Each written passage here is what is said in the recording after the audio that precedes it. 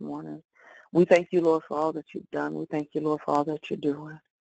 Heavenly Father, we are grateful for you giving us our first inheritance today, which is life, for allowing us, Lord, to see another day, another day in your glory, another day in your presence, another day to get some things right. Father, we honor you today and we exalt you. We extol you, Lord God. For Father, you are great and you are worthy to be praised.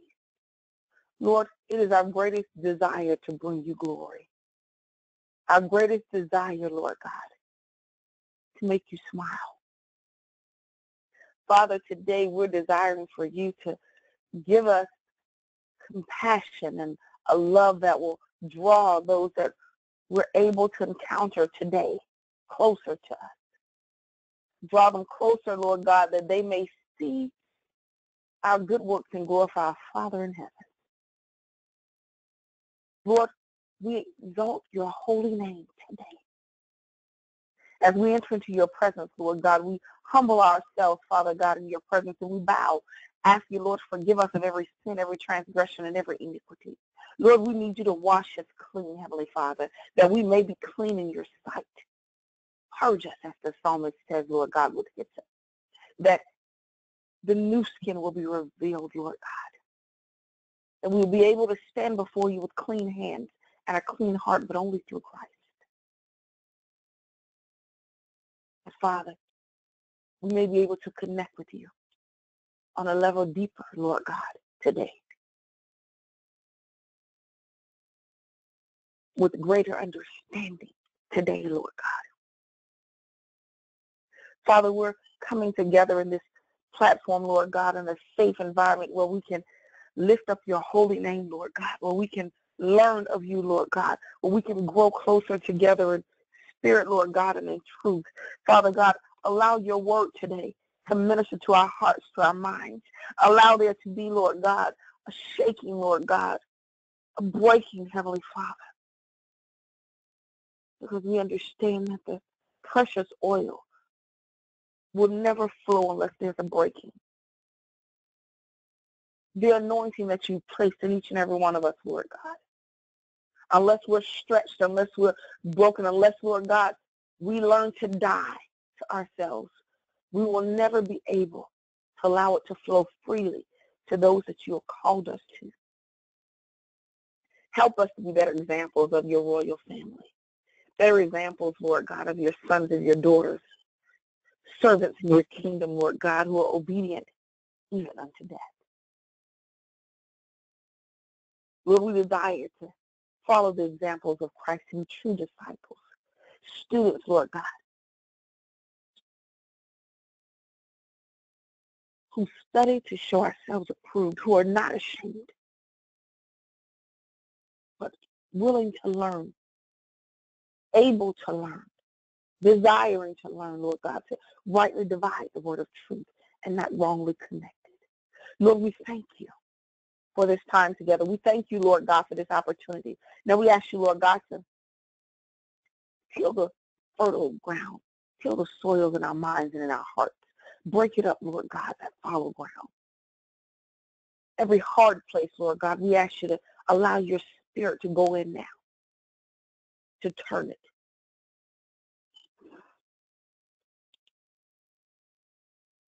Give me, Lord God, the words to say.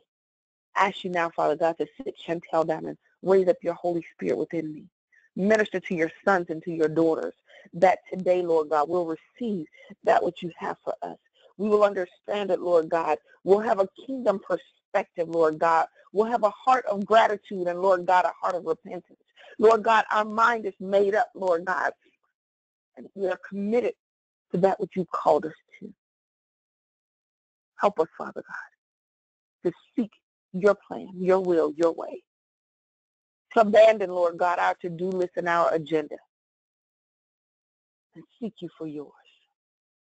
And you may be glorified and magnified in Jesus' name. Amen. Good morning, intercessors. Amen. Today we're going to jump right into the word. We're studying this week about God Almighty. El Shaddai, the Lord God who is more than enough. Amen. And yesterday we got some of the background information. I absolutely love giving you that foundation so that on Mondays you will not only just get um, some understanding, but that you'll get the background, you'll get the cultural information, you'll get that information of the translations from Hebrew and Greek so that we can begin to apply this word, so we can begin to better understand and have clarity. Amen. But God reveals himself as El Shaddai, God Almighty, to Abram. And he tells him of the everlasting covenant that he will establish with him and his descendants. And so until the time of Moses, when another divine name was revealed, the patriarchs called El Shaddai. They considered El Shaddai. They knew and trusted and leaned on El Shaddai as the covenant name of God. So when we pray to El Shaddai, we invoke the name of the one who nothing is impossible. Amen. The creator of heaven and earth, the creator of every living thing. Our focus scripture always long is coming out of Genesis 17. And I read great portion of it yesterday, so I'm just going to read verse 1 and 2, and I'm going to jump down to verse 17 because I want you to read a little bit more than that. Amen? Amen.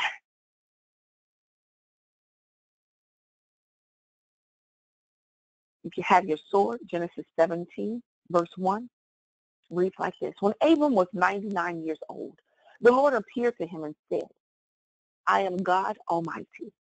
Walk before me and be blameless. I will confirm my covenant between me and you and will greatly increase your numbers. Jumping down. Abram fell face down and he laughed and said to himself, Will a son be born to a man a hundred years old? Again, that was Genesis 17, verse 1 and 2, and then verse 17. But I want you to read Genesis 17, verse 1 through 8, and then read verse 15 through 17. Now, if you like, you can read all of it, and that may give you a little bit more clarity, some understanding. But I want us this morning to take some time to praise God. Because no matter how tough life is, no power in heaven or on earth can taint or change his plans for each of us as long as we follow him. I want us to offer thanks that God has made an everlasting covenant with each and every one of us. Amen. I want us to take some time to go in our prayer closets this morning and just get in the presence of God. Confess any doubts about God's ability or his desire to help each and every one of us. How many of us truly know that God desires to be there for us. And I want you to ask God for the faith to believe that he can show his strength in us and for us when we are at our weakest. Amen.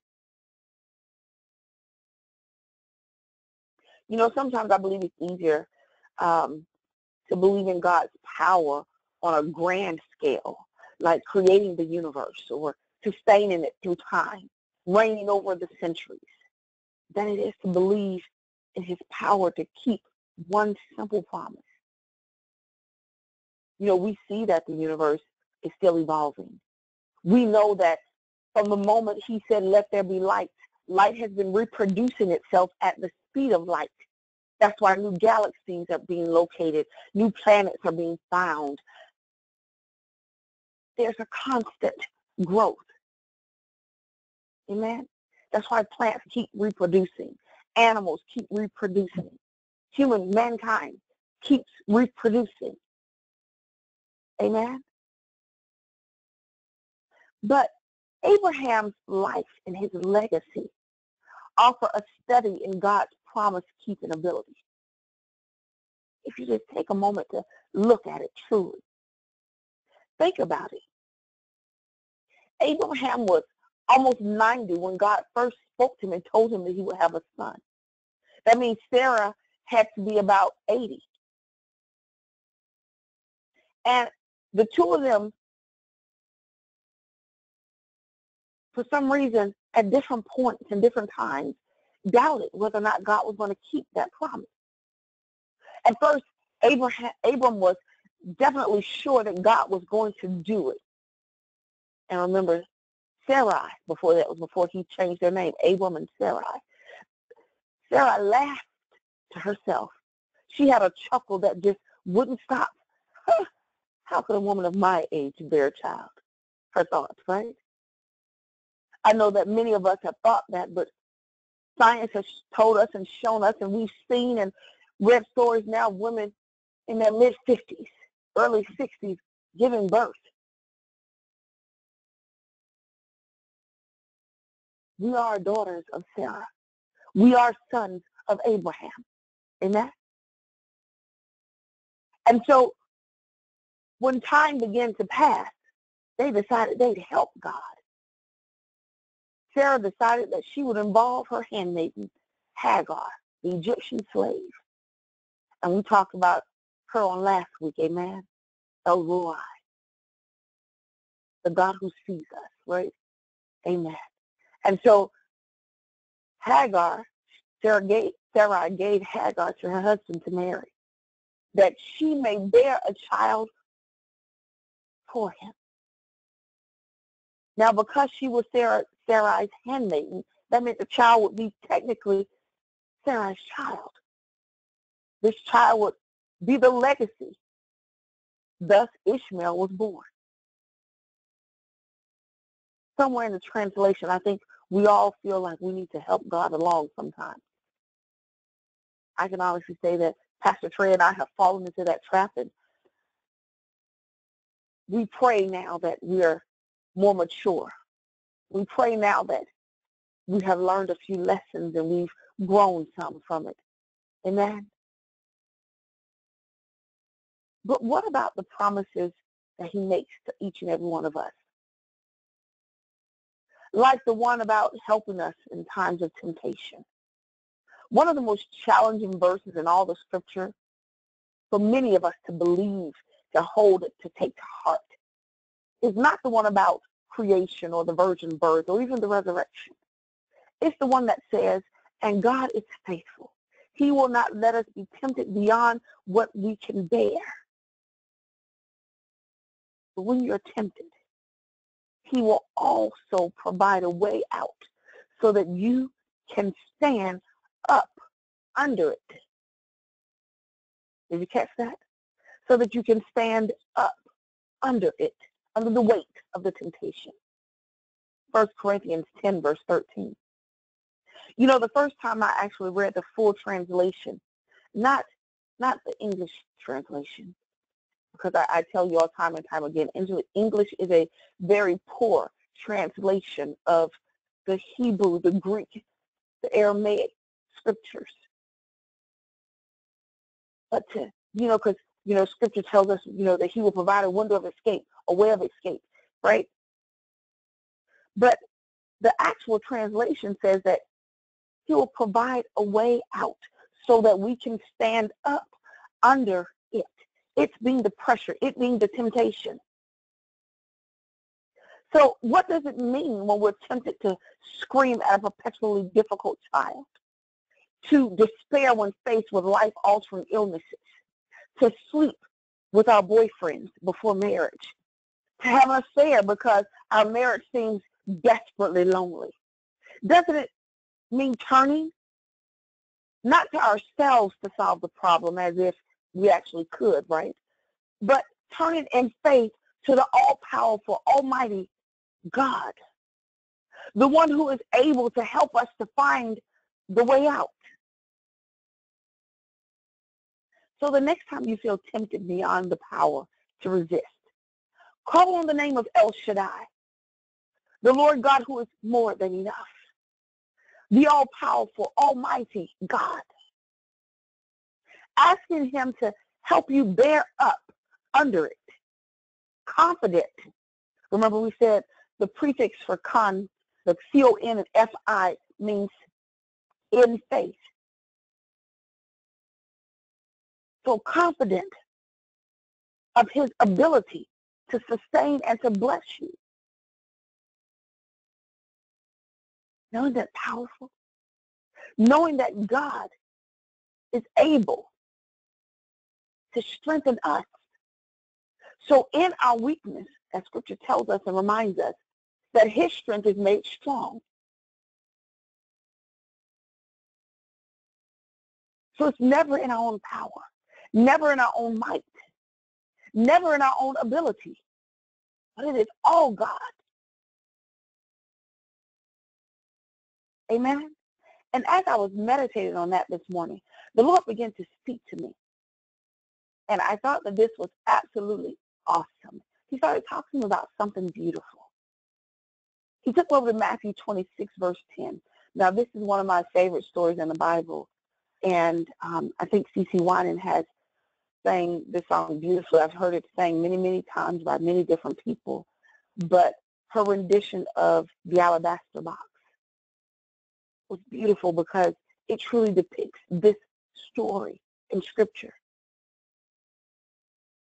But it says, Matthew 26, verse 10, read there with me. Jesus said to them, why are you bothering this woman?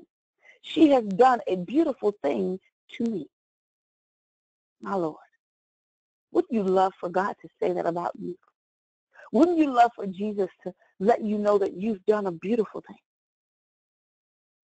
You know, um, after I went through my first divorce, I pawned and sold and gave away a lot of my jewelry, everything that was gold, whether it was 14, 18, 24 karat gold, I gave it all away, all of it.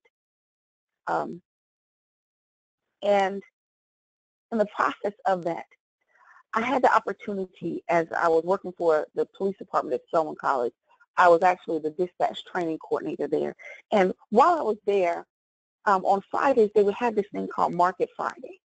And so vendors from all over the city would come and they would set up tables in the um, food court area, all outside the food court. As long as it was beautiful outside, they had tents set out so they wouldn't, you know, be all out in the sun, but there were tents lining all over the middle of the quad. And we would just get a chance and an opportunity to just go from one vendor to the next. And so during security, of course, I got the opportunity. I didn't get a chance to get out the office much. But on Market Friday, someone would always come and give me a chance to go up, especially if they saw something that had, you know, like a good deal where I could get things for my kids or things of that nature because they would have reduced prices because they were selling to students, majority. Majority of the people there were students. So I remember going up there and there was a jewelry store that was going out of business. And they had this beautiful, I mean, everything there was silver, um, titanium, platinum. Now, don't get me wrong, the platinum was definitely more expensive. The titanium was more expensive. However, the beautiful silver, sterling silver, was absolutely gorgeous, and it was rock bottom prices. And I purchased a lot of unique, different kinds of rings because I like different and unique rings. And it's amazing because I only have maybe one ring left from that time because literally people would tell me, oh my goodness, that's beautiful. Where'd you get that from? And if someone told me that they liked something I had on more than twice, I would give them, I would take it off and give it to them. Now, within reason, of course, if it was my outfit, I may go home and wash it if it was their size and bring it back to them. But for the most part, it was mostly my jewelry, my accessories, things like that. Um, and that started because the Lord told me, you know, um, one day to bless a young lady with something I had that she thought was beautiful. And how many of you know that when we're children, we're a little selfish? Let's just be honest. Some of us who are grown and adults, we're still selfish. But um, in, in your mind, when God says give something, you're like, it's mine you know, it's irreplaceable. It's it was a gift to me. You know, I, I kind of like this, Lord. What do you mean give this to this person? I don't even know them. But many of us know that God has a plan? You know, we stand there and we think, why would you ask me to do that? Never wondering what this other person could be going through that God felt the need to ask his child, his son, his daughter, to bless someone else with something that they had been blessed with. Something that brought you complete joy, something that was, you thought was absolutely beautiful and may actually be new. Like my self plan didn't really like God's plan to give away those things that I liked. But it was God's plan that was laid out before me. And God was asking me to give up something that meant a lot to me, that another woman could be blessed. It seemed kind of crazy the first time he did it. It seemed absolutely unnecessary. Some, you know, that, that was how I felt, just being honest. But in this incident, through the strength of Christ, I chose to obey even though I didn't want to, even though it hurt a little. And it cost me big because, again, they weren't free. They just were cheaper than it was had I gone into the store. And it was crazy because as I was walking through the Market Friday that exact same day later on, the vendors were cleared out and they were packing up. And the vendors that did the silver, I remember the gentleman stopping me and he said, my wife was so blessed by you speaking into her life. Now, mind you, I didn't do anything special. I just told her what the Lord said to say. And it blessed her so that he had set aside rings. And don't get me wrong, I don't wear the average size ring that women wear. Let, let's be perfectly clear. Um, I love my fa- I love my father dearly, and I still love his memory. And I'm grateful for the time I had to spend with him. Would have loved more, but I have hands like my father. So my ring finger alone is a size 10. I don't know about the rest of you, but I've never really thought of that as a dainty, girly size for a woman. A ring finger is a size 10. Amen. So you can imagine that the rest of my fingers are not much smaller. So we're talking seven and a half, eight, nine, you know, at the smallest. But this gentleman had set aside two other rings. And then he set aside two rings that were kind of masculine, but they were very nice and very simple. And he said, you said you had two sons and that both of them were very thin. I said, yes, sir. And um, he gave me two rings and said he hopes fit them. And each one spoke to their personality. Now, he had never met my children, had never seen them. And to be honest with you all, I've only seen that, that gentleman and his wife one other time beyond that. But he blessed me with four other rings because he said I blessed his wife with a word from the God. And it encouraged her, even though they were losing their store, even though they had to go out of business and it wasn't their heart's desire. Amen. And so, again, God softens our childish hearts sometimes, you know? And when I gave the woman the very ring that the Sherman had given to me and told her that the Lord said to bless you with this. As I silently confessed my selfish thoughts to God, God began to pour a deep joy within my soul.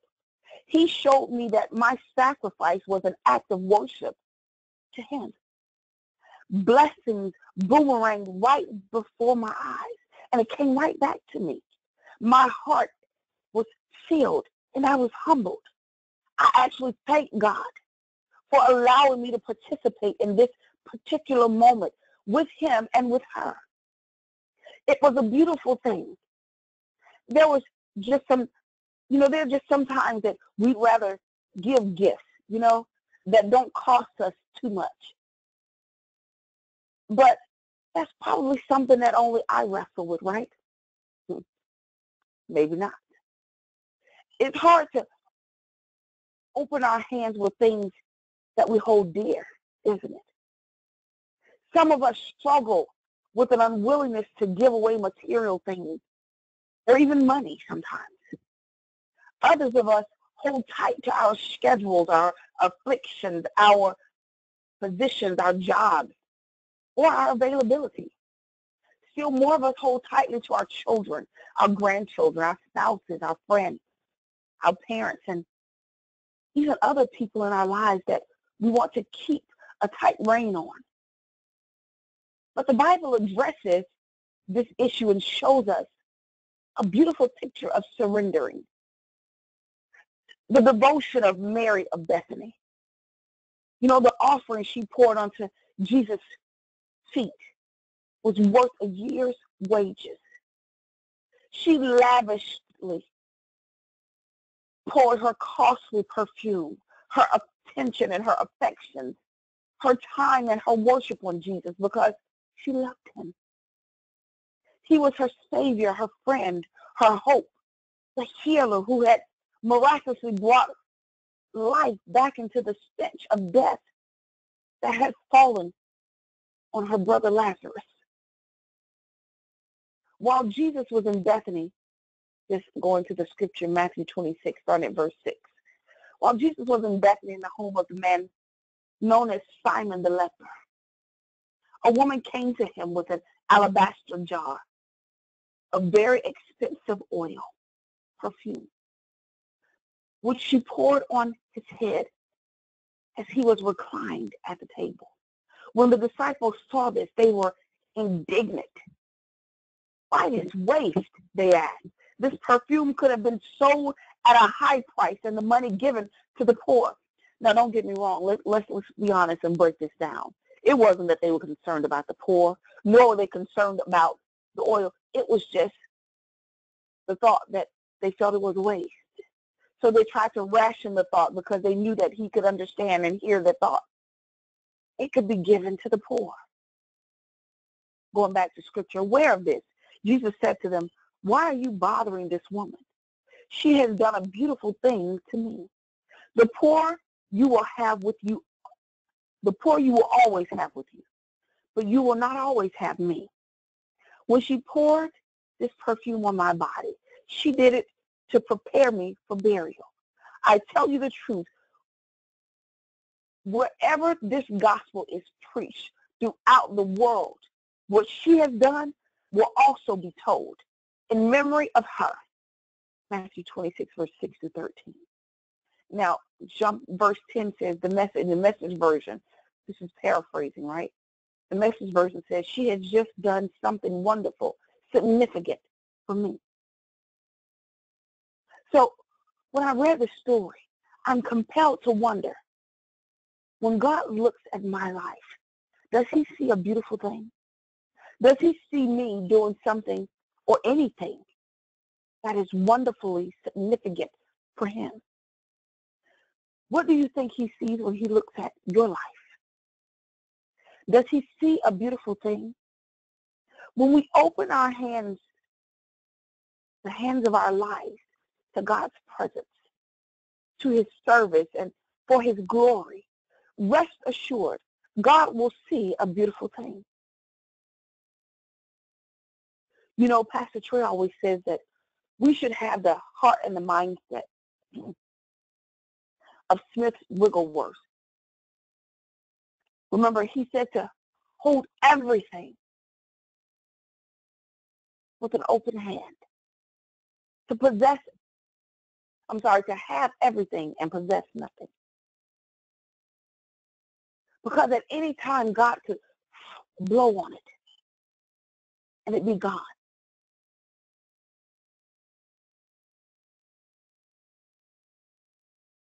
So that means to hold our children, our loved ones, our spouses, our parents, even our very own lives with an open hand. God, it's yours. If it wasn't for you and for your blessings, your grace, your mercy, I wouldn't have it anyway. So we hold it with an open hand. When we obey God's promptings and listen to his voice that whispers to our very souls, he fills us with peace, satisfaction, and his beauty. Amen.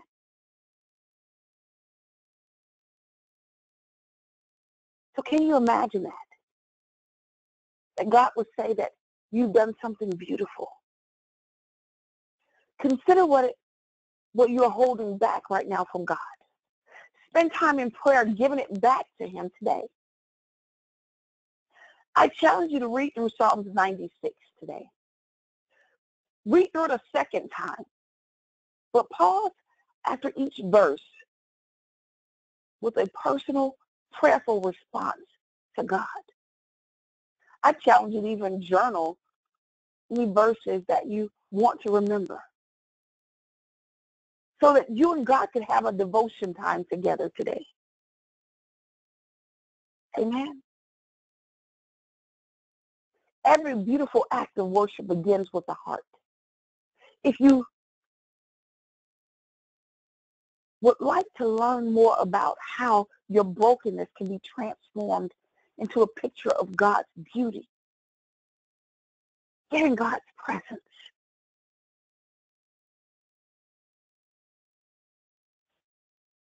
Learn how to take your experiences while you're in the presence of God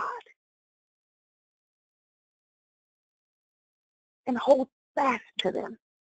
Let the power of and healing and restoration wash over you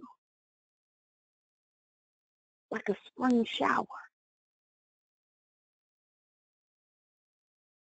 Because when we obey God's promptings and we listen to his voice, you know that still small voice that whispers to our very souls. He fills us with peace. He fills us with satisfaction. He fills us with his beauty. Amen. Meditate on that for just a moment as I close us out in prayer. Heavenly Father, we just thank you, Lord God, for today. We thank you, Lord God, for reminding us of your loving kindness, of your faithfulness and your commitment to us. God, you are worth far more praise than we could ever give. Help us to rest in your presence and trust in your plan. Fill us with your perspective until we joyfully lay down our will for yours. Lord, when you look at our lives, we want you to see something beautiful. That our sacrifice is something beautiful to you. We know that you are El Shaddai, the Lord God Almighty, the creator of the universe and every living thing, the sustainer of everything. You reign over the centuries just as you reign over our lives. Help us to call upon you when the temptations of life present themselves to us. Help us to call upon your very name, El Shaddai, that you may be faithful and show up. That you will not let us be tempted beyond what we can bear. But when we are tempted, you will provide a way out. And you will strengthen us that we may be able to stand up under under the temptation. Help us not to turn to our own selves to solve any problems that present themselves as if we could ever solve anything without you. But help us turn in faith to you who is all powerful, all knowing, almighty, and able to help us to find the way that you created and made for us to escape. Remind us the next time that we're tempted beyond the power to resist, to call upon your name, El Shaddai, and help us to ask you to strengthen us that we may bear up under it, being confident of your ability to sustain and to bless each and every one of us. In Jesus' name, amen. Are there any questions, comments, thoughts, complaints, concerns Did God bless you? Did he minister to you during this? Did he speak to your heart or your situation? Did he remind you of some things and reveal some things to you? Are you clear on what God has been doing and saying?